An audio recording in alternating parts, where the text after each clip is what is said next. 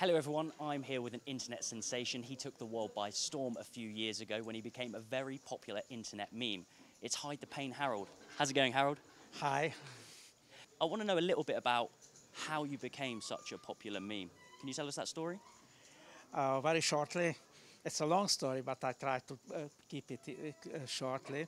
So it happened 10 years ago when I uploaded some selfies on the internet, Mm-hmm. and a photographer noticed that uh, picture and uh, contacted me inviting for a shooting.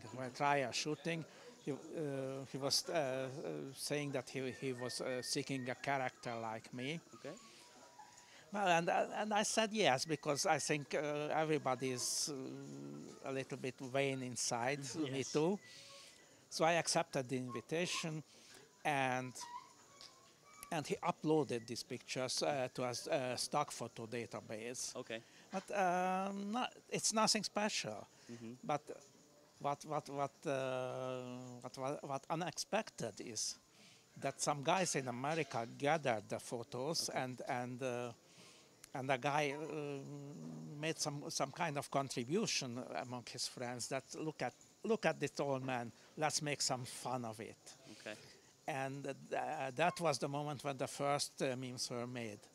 And when I discovered them, it was a shocking experience because I guess uh, nobody is accustomed to see to see himself, the, his own face, as, as, as a character of memes. Yes. So it uh, it took almost five years to accept the situation. At first, I wanted to fight against it. That's I wanted to stop it. But then I realized that it's it's it's not possible. So, And- so the, the Hide the Pain, did that, where, where did that come from, sort of the nickname?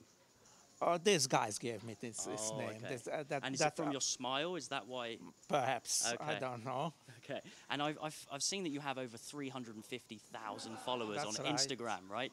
So how does it sort of feel to be a celebrity now? Do you get stopped in the streets for photos and things like that? Very often, it's different. It it changes from country to country.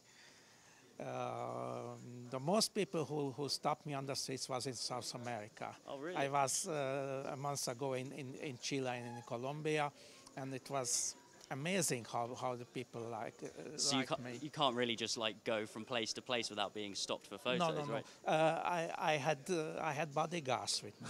really, really, really. So has this allowed you So- to travel a lot now? Now that you're sort of hide the pain, Harold? Uh, I, I can travel quite a lot now. And, and it's a good thing because I like to travel all around the world. So, uh, without being a celebrity, I've been uh, traveling uh, all around the uh, not all around the world, but, but, but in Europe. But now you get to travel and get paid for it as well, right? It's, it's The a good dream. thing. yeah. I think that it, it uh, was the best thing in my life when I, when I embraced be, uh, being a meme.